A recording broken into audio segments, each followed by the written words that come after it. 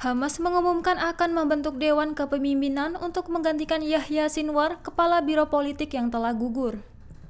Dewan tersebut dipimpin oleh Muhammad Darwis dan terdiri dari Khaled Mesal, Khalil Al-Hayya, Zahir Jabarin, serta Nizar Awadallah. Pembentukan dewan itu mendapatkan restu dari Sinwar sebelum kematiannya, sebagai langkah untuk meneruskan kepemimpinan Hamas. Mengutip Tribun News pada 23 Oktober 2024, mayoritas anggota dewan berada di Qatar yang memudahkan pengambilan keputusan terkait situasi di jalur Gaza. Dewan tersebut diharapkan memiliki kekuasaan strategis terutama setelah kehilangan banyak anggota biro politik.